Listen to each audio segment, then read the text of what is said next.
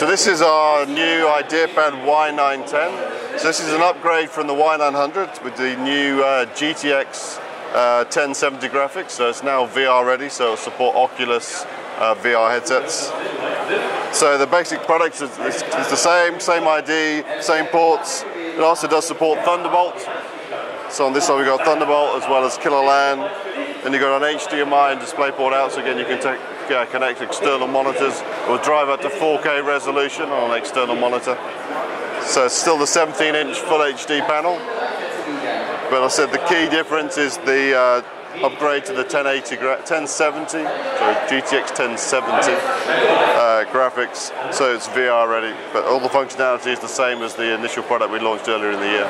So obviously, this is one of our dedicated Y series laptops. It has the uh, glowing Y logo. Again, much more aggressive uh, design. Obviously, targeting gamers who want that really high-end looking performance machine. So this has surround sounds, uh, sound, JBL subwoofer in the bottom. So again, when you're playing games, you've got fantastic sound. It also has a full mechanical keyboard uh, with four macros. So you can, depending on the game you're playing, you can set the macros to the shortcuts. And also you can actually change the keys. So you can program the keys so depending on the game, you can highlight the, the key buttons that you want to use, or you can have it off completely, or you can have it actually pulsating, so it almost breathes.